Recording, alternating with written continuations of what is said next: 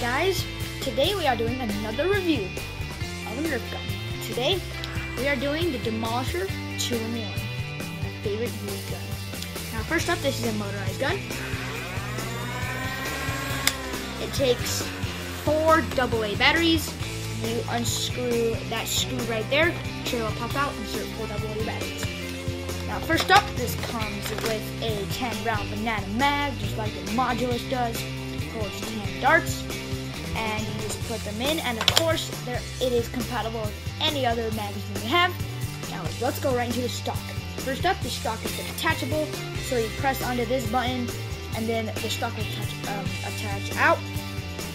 Now we have a missile from right here that is compatible with the Thunder Blast or the Tri-Strike or any of those other missiles. Now the way to shoot the missile is you go like that, and you go just like that. And you prime it as far back as you can. There is a muzzle attachment, so you can put your optics on there. We have a tactic rail on the top, and that is pretty much the review. Let's go into firing. Swish! Here you guys are.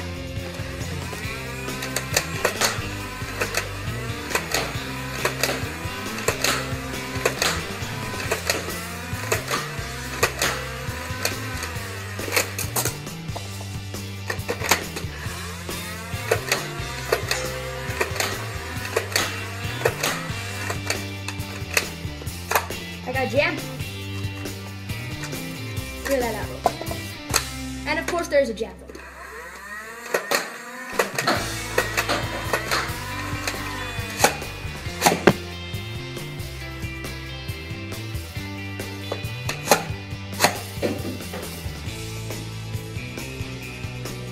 This one's not gonna be good. It's missing a um, thing.